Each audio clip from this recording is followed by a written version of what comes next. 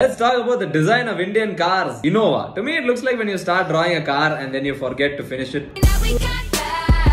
Maruti Swift. This is Kim Kardashian, but in car form. It's very good, but it's known more than anything for its very prominent buttocks, which is a very important feature for any Indian family.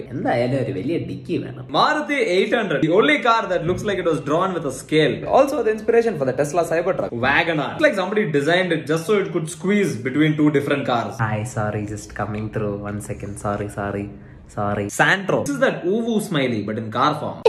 Alto. This is your max teacher, but in car form. Akhil, where is your homework? Sorry, sir.